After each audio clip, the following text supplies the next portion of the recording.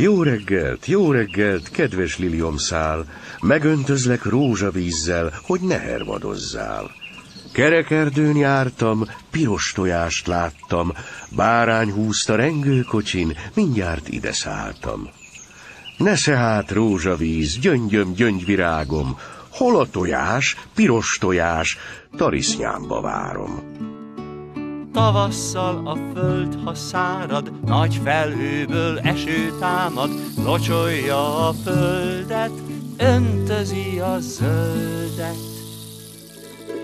Húsvét hétfő, jaj, mit látok, hervadoznak a leányok, értük jöttem szólni, szabad el locsolni.